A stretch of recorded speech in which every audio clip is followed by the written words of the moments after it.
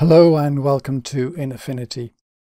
One of the controls that has confused me for a long time was the clarity because it's sold as a kind of sharpening tool but not quite. So let's have a look at it. Let's, let's see what it does. So we go down to the live filters here and there it is in with the other sharpening tools. So let's bring it up here and let's try turning it right up to see if we can see something happening. Well, what we see already, let's turn it, we can turn it on and off up here. So off, on, off, on. So what we see there is this, the noise, and that's something that immediately you need to watch out for. If you've got a noisy picture, turning up clarity will make the noise noisier. And but however, if you've got something that's cloud, cloudy like this, see off and on, it makes the clouds more intense. So you can use it, for example, to intensify a sky. Um, this is right up. Going down the other way, kind of the opposite effect. So the noise there is a bit more faded, so you could use it to reduce noise uh, or to tone down a sky. Let's have a look at the sharpening effect. Let's go into the middle here and does this sharpen this line here? Because we expect this blurring at the edge to decrease in some way. Not really, does it?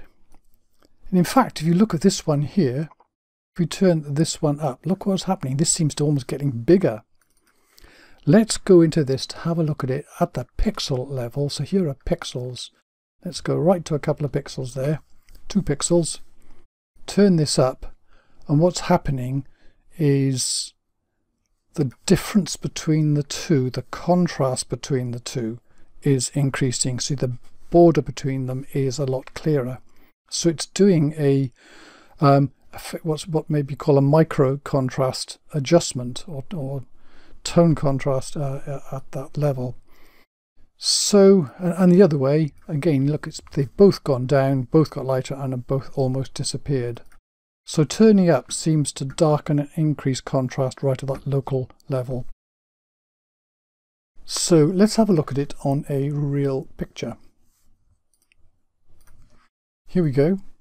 Let's put clarity here. Turn this up and what do we notice? Right up, well look the face here is immediately gone very grimy and grungy and in fact when it first came out that was one of the things it used to be useful for creating grime pictures. But usually with faces, you don't want to do that. But that immediately suggests if we turn it down the other way, it softens it. In fact, let's go in close and have a look. So we look at this here. If I turn that up, that's not good, is it?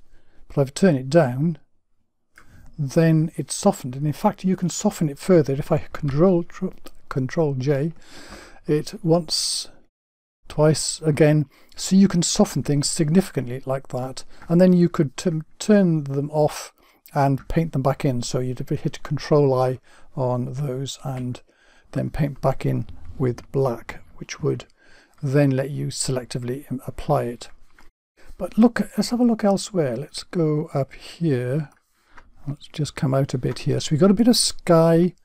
We've got the um, bit of background. And we've got some eye and, and, an edge here. Which like this to be a bit sharper?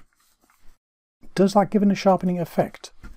Let's try it. So so from the middle turn it up and that local contrast does seem to make that effect. It does sort of brighten this up a bit though it's at individual pixels. Notice here the noise here has suddenly increased go back to the middle, see that noise decreases and turn that right down and that goes off. And likewise again, you can hit this and hit Control J several times and you'll multiply the effect um, when it gets to it. Oh, hang on a moment, we need to turn this one up and go to this one and we'll turn this one up and even go to this one so we've got a super extreme effect. There we go, three of them turned up and then control 0 to look at that and uh, yes of course the skin is terrible. But you've got some interesting effects out here. If you don't like it you can turn them off one at a time. Maybe that's a bit too much. See the sky's gone a bit too strange there. You wouldn't want this on the face, but you can paint it in on the things like the hair. Look at the hair here and take the one off and then the other off. So you have enhanced, particularly where you've got individual hairs, because it's con contrasting it against the background, that you could be aware of this kind of effect. So you might want to denoise before you start. Okay, there you go. There is the basics of the clarity slider. Use it with care. Watch out for nasty effects, but there are areas where it can be a handy thing to do and you can duplicate it to enhance the effect. Thank you very much for watching.